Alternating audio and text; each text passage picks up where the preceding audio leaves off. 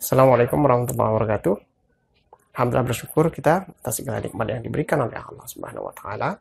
Pada kesempatan ini kita akan melanjutkan kembali materi-materi kita terkait dengan mata kuliah Logika Informatika. Kode mata kuliah MSIM 4103 4103 MSIM yaitu Logika Informatika. Alhamdulillah semoga kita selalu diberikan kekuatan, diberikan semangat untuk belajar, kemudian kita bisa diberikan kemampuan oleh Allah Subhanahu wa taala sebagai pembelajar yang baik ya sehingga kita bisa menerima apa yang disampaikan melalui materi di e-learning kita terkait dengan materi-materi yang ada dan pengayaan-pengayaan apakah dalam bentuk kuis, forum diskusi, kemudian memahami materi dalam bentuk modul dan juga video penjelasan.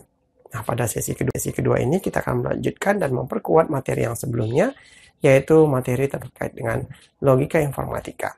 Dan pokok bahasan pada sesi ini yaitu kita akan membahas tentang penentuan nilai kebenaran dari kalimat logika proporsional dan juga kita akan mempelajari terkait dengan aturan semantik uh, logika proporsional interpretasi logika profesional yang diperluas, kemudian tabel kebenaran. Nah, ini nih uh, materi-materi ini yang akan kita pelajari di sesi ini. Semoga teman-teman semua, mahasiswa tutorial online bisa mengikuti dengan baik dan aktif pada forum diskusi.